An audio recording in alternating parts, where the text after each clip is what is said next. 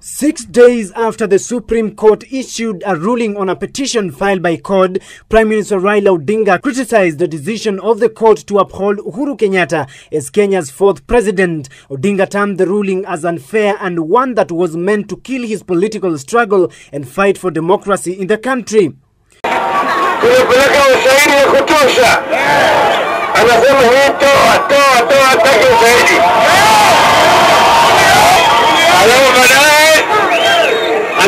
Anasema ni Yesu asulubishwe. Tuliona Raila Odinga vowed to continue with the fight for democracy despite losing presidency to Uhuru Kenyatta. During his tour of the area, Odinga promised to be on the forefront in the quest for justice in Kenya. The premier said the ruling made by the sixth bench judge led by their boss Dr. Willy Mutunga was not popular.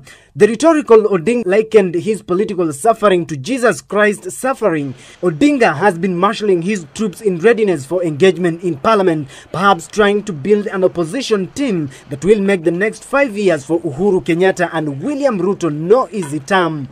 Reporting for JSO at 7, I'm Steven Letoo.